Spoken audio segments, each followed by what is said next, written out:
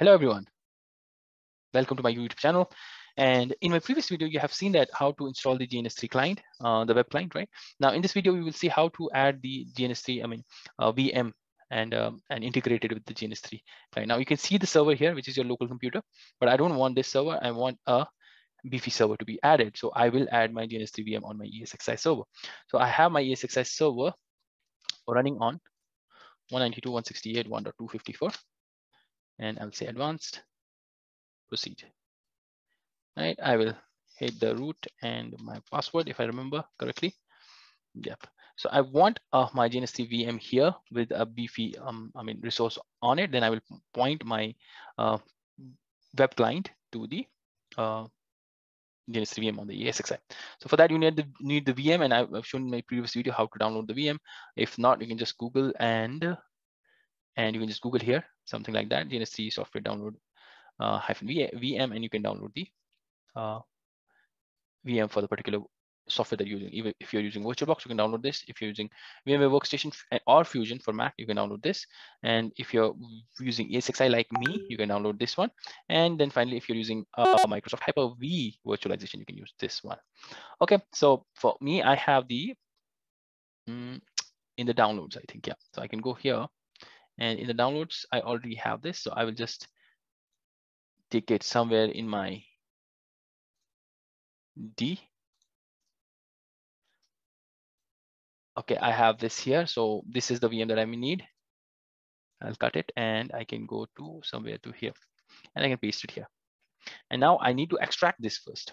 Okay, so uh, to extract this, you need to just right click on the zip file and, and hit on extract. So once this gets copied to my E drive, I will just extract it to my E drive. And then inside it, I will have the OVA file that I'm interested in. Let's see. Cool. So I would I have the software here and I can just hit on extract here and this will start extracting the GNS3 OVA file. This is what I'm interested in. Yeah. So once this is extracted, I will just fast forward my video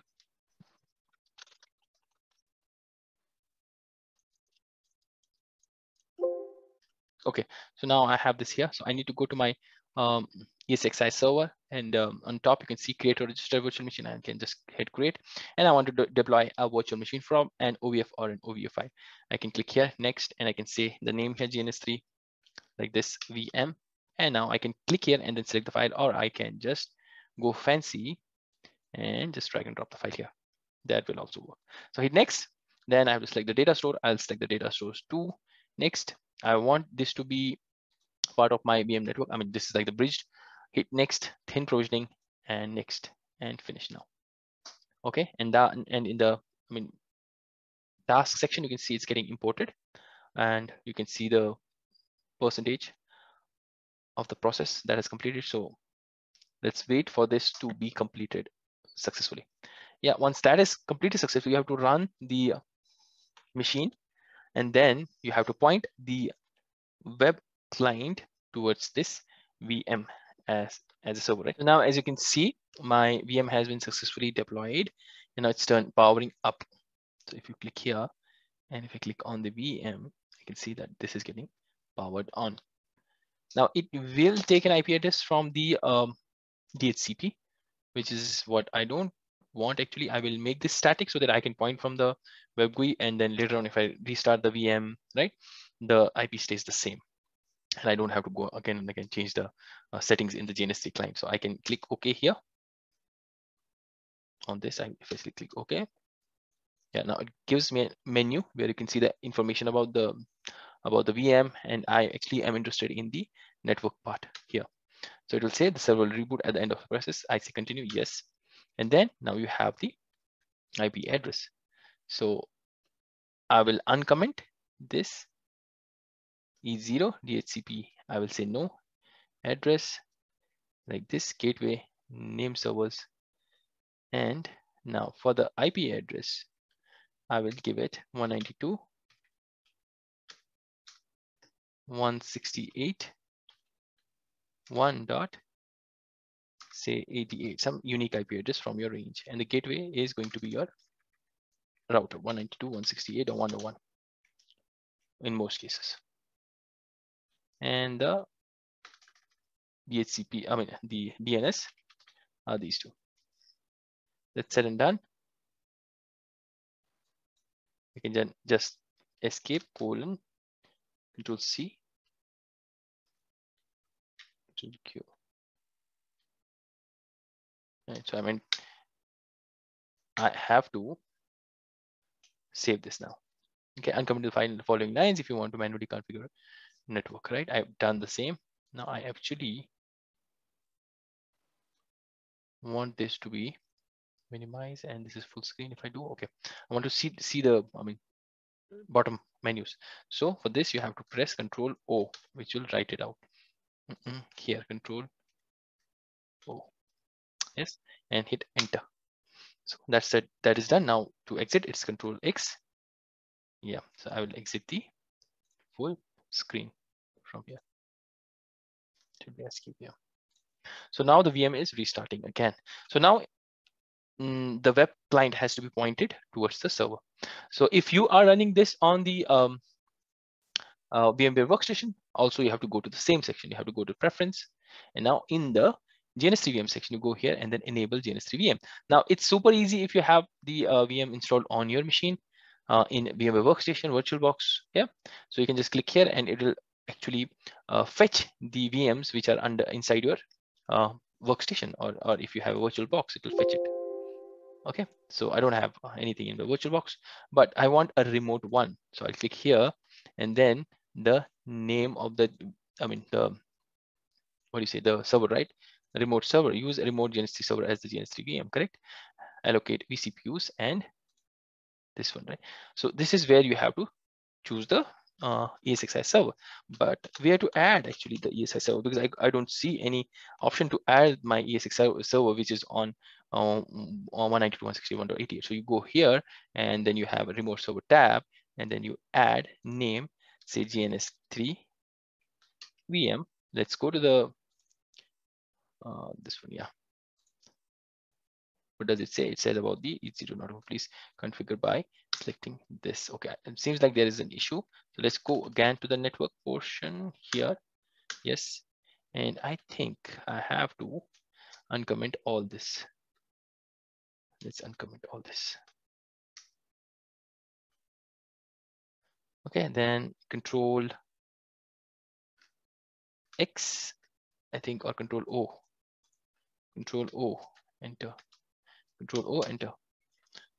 You have to maximize this. Save modified buffer. I would say yes. Just want the file to be saved. Control C is cancel, it says. Now I have to press Control O to write this and then hit enter to save this. Now it says the wrote 16 lines. Now Control X for exit. Done. Now it should reload again, escape to come back to the normal screen. Now I need the details of this server in order to point the uh, GNS3 web client to the server, right? So let's wait for the server to reboot on 88 and the port that we need to specify on the GNS3 uh, web client. Here it is, I know HTTP, but then um, default would be 3080 port. So let's just go on and proactively give this one. This is what I want yeah? And hit OK. Now when you go to GNS3, you will find your VM here. If you refresh it again, should come up here. Is my server. Yeah, it is there. GNS3 HTTP.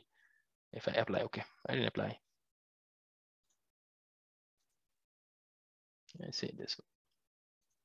It has not come. Yeah, now it has come. Apply.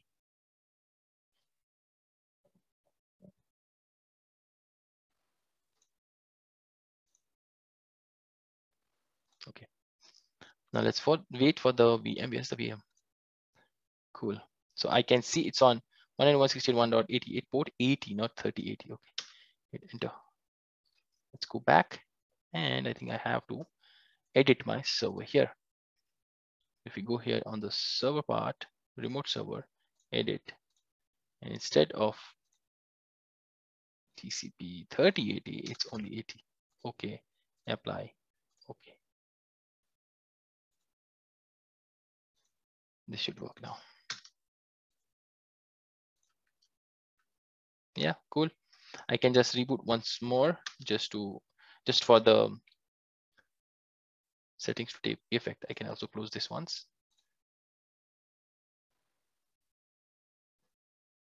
It's a little less complicated if you have the um, VM locally on your machine on workstation or or on the virtual box, but it takes quite a time to get it working with the remote servers.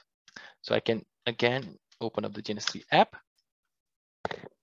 This time it should, uh, I mean, in the server section, you should see the remote server as green as well.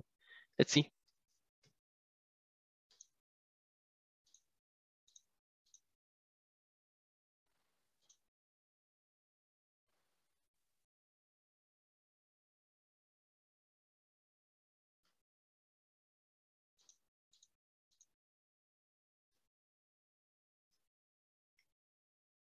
Okay, now we can see if I just go and test, create a new one test. I think um, it's there. Okay, fine. But now you can see I have two servers here. Now my GNS3 VM is also there. So I can go and add a new template here. So if we click here, I can import uh, just quickly, just to try this. I have a small tool, which is the web term, this one. I can just install this pretty quickly. So now you have the options, right? So I can install the appliance on the GNS3 VM like that. Next, finish. Cool. Now, if I go to the devices, I should have the web term. I can just drag and drop the web term here.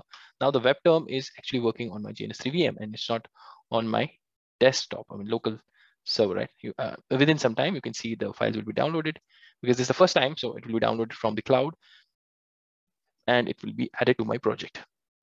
And then I can start and uh, I'm start using my appliance, right? So yeah, that is how you integrate, download, install the GNS3 VM with your GNS3 web client. Or you can say GNS3 application. It's not basically the web client because web client would be something like, like going to the browser and just going to 192.168.1.88, which is your um, GNS3 VM, right? So this is how you do it. You can just, I mean, add a blank project here, save tests. And this is also a cool way of using the GNS3 like, like something like the EVE-NG. Yeah, you can just add these. This is also very cool, pretty neat. Mm, you should have all the devices here. So for example, I have the web term right now, should be there. Filter by, I don't see the web term here. So if I go here, the web term is there. I can now start it. This is basically a web web page i mean web browser basically yeah? So you can just open this. If you close it like this close tab then right click here somewhere. Yeah you have the terminal. You can have the applications right? You can have the shell. You can have a terminal emulator also. Pretty cool right? I mean this is very light so if you have to uh, i mean um you have to first of all have a ip address here. And if you want to say access a GUI from here you can do that. Pretty neat. So that's how you do it right? That's um, it for this video and uh, hope you like the content on my channel. And please don't forget to subscribe to my channel. If you like my videos please do hit, hit the subscribe button. And uh, and also uh, do not forget to press the bell icon so that you get the latest notifications of the videos that i upload on my youtube channel. So